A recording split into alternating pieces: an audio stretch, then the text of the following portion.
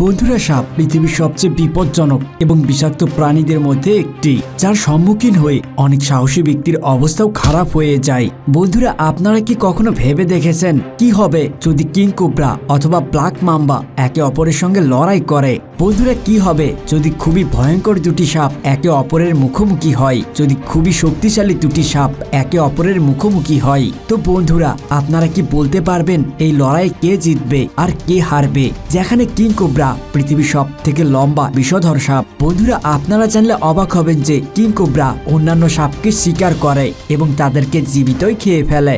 আর অন্যদিকে, black mamba এত রাগী হয় যে বিপদ অনুভব হলেই সে নিজের শত্রুকে সবল দিতে দিতে মেরে ফেলে। বন্ধুরা ব্ল্যাক মাম্বা একবার সবল মেরেই ক্ষান্ত হয় না। এরা এক নাগারে কয়েকবার সবল দিতে থাকে।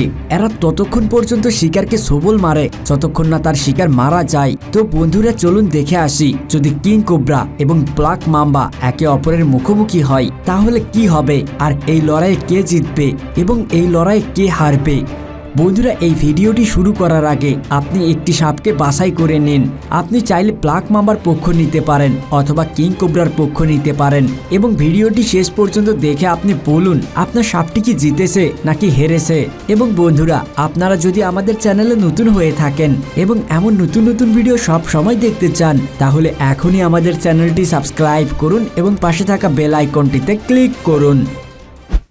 বন্ধুরা, আমরা যদি কিং কোবরার কথা বলি, তাহলে কিং কোবরা পৃথিবীর সব থেকে লম্বা বিষাক্ত সাপ। বন্ধুরা, এই সাপ লম্বায় আঠারো থেকে বিশ ফিট পর্যন্ত হয়। এবং এদের ওজন সাধারণত ছয় কেজির আশেপাশে হয়। আর আপনি কি জানেন, কিং কোবরার পর ব্ল্যাক মাম্বা পৃথিবীর সব থেকে লম্বা বিষাক্ত সাপ? এর থেকেও অনেক লম্বা সাপ আছে, কিন্তু তারা বিষাক্ত নয়। আর একটি ব্ল্যাক মাম্বা লম্বায় ছয় থেকে চোদ্দ ফিট পর্যন্ত হয়, আর এদের ওজন এক দশমিক ছয় কেজি পর্যন্ত হতে পারে, যা কিং কোবরার তুলনায় অনেক কম। বন্ধুরা ব্ল্যাক মাম্বাকে পৃথিবীর সবচেয়ে দ্রুতগামী এবং ছটপটে সাপ মনে করা হয়। এই সাপ প্রতি ঘন্টায় বিশ কিলোমিটার গতিবেগে দৌড়াতে পারে, যেটা আপনাকে ধরে ফেলার জন্য যথেষ্ট।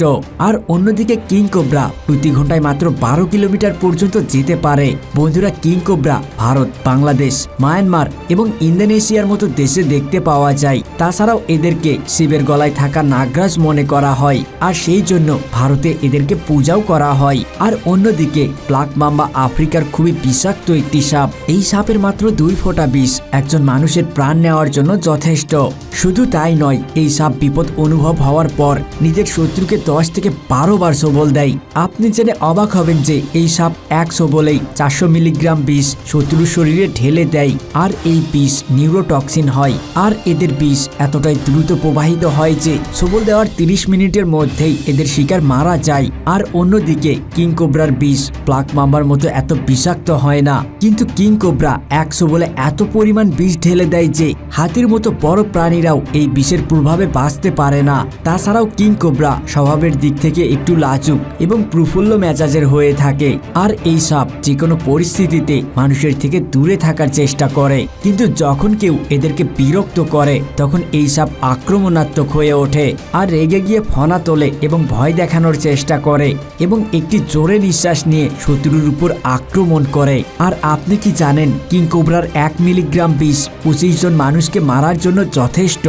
আর এই সাপের পিস নিউরোটক্সিন হয়। আর এই পিস মানুষের নার্ভ সিস্টেমকে পুরোপুরি ব্লক করে দেয়। বন্ধুরা, যেখানে ব্ল্যাক মাম্বা খুব ছোট জীবজন্তু এবং পশু পাখি শিকার করে, সেখানে কিং কোবরা খিদে লাগার পর অন্য সাপকে শিকার করে খেয়ে ফেলে। এই জন্য এদেরকে কিং কোবরা অর্থাৎ কিং অফ অ্যানাদার স্নেকও বলা হয়। আর অন্যদিকে ব্ল্যাক মাম্বার নাম তার শরীরের জন্য নয়, বরং তার মুখের ভিতরে থাকা কালো রঙের জন্য হয়েছে। তো বন্ধুরা, এখন কথা বলা যাক। যদি কিং কোবরা এবং ব্ল্যাক মাম্বা একে অপরের সঙ্গে লড়াই করে, তাহলে এই লড়াইয়ে কে জিতবে? এই দুটি সাপের সম্পর্কে সবকিছু জানার পর তো এইটাই মনে হয় যে কিং কোবরা ব্ল্যাক মাম্বার থেকে একটু বেশি ভয়ঙ্কর হতে পারে।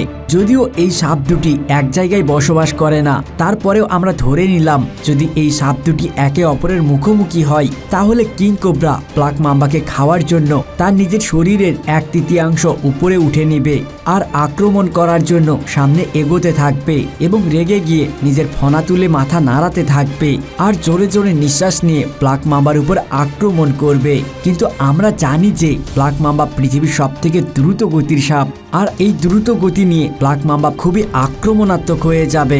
তাই সে কিং কোবরাকে একবার নয়, বরং বারবার কামড় দিতে থাকবে। কিন্তু কিং কোবরার শরীরে এর বিষের প্রভাব খুব সহজে পড়বে না। কেননা কোবরার শরীরে বেশিরভাগ সাপের বিষের প্রভাব পড়ে না। আর এই জন্য কিং কোবরা অন্য সাপদেরকে নিজের শিকার বানিয়ে ফেলে। যদিও কিং কোবরার বিষ ব্ল্যাক মাম্বার বিষের মতো বিষাক্ত নয়, এই জন্য সে নিজের বিষের প্রভাব হওয়া পর্যন্ত অপেক্ষা করবে না। আর তাই ব্ল্যাক মাম্বাকে কিং কোবরা নিজের শরীর দিয়ে পেঁচিয়ে নিবে। কেননা কিং কোবরা ব্ল্যাক মাম্বার থেকে আকারে অনেক বড় হয়, আর এইটার ফায়দা উঠিয়ে কিং কোবরা ব্ল্যাক মাম্বাকে পেঁচানোর সুযোগই দিবে না।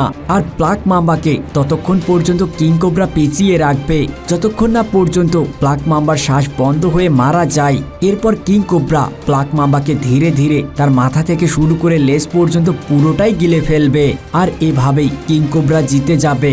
আর প্লাক মাম্বা কিং কোবরার খাদ্যে পরিণত হবে। কিন্তু যদি ব্ল্যাক মাম্বা তার বুদ্ধির সঙ্গে এবং তার দ্রুত গতিকে কাজে লাগিয়ে সেখান থেকে পালিয়ে যেতে পারে, তাহলে হয়তো ব্ল্যাক মাম্বা কিং কোবরার থেকে রক্ষা পেয়ে যাবে। কিন্তু একটি ব্ল্যাক মাম্বা কখনোই কিং কোবরাকে হারাতে পারবে না। শুধু তাই নয়, বিশেষজ্ঞ এবং অ্যানিমেল ট্রেনারদের মতে, কিং কোবরা অন্যান্য সাপের তুলনায় অনেক শক্তিশালী এবং আকারে অনেক বড় হয়, যার কারণে সে ব্ল্যাক মাম্বাকে অন্যান্য সাপের মতোই খুব সহজেই হারিয়ে দিবে।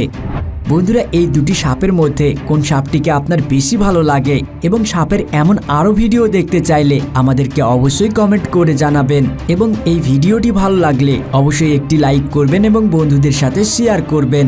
আর আপনি যদি আমাদের চ্যানেলে নতুন হয়ে থাকেন এবং এমন নতুন নতুন ভিডিও সব সময় পেতে চান, তাহলে এখনই আমাদের চ্যানেলটি সাবস্ক্রাইব করুন এবং পাশে থাকা বেল আইকনটিতে ক্লিক করুন। কথা হবে অন্য এক ভিডিওতে। সেই পর্যন্ত ভালো থাকবেন। ধন্যবাদ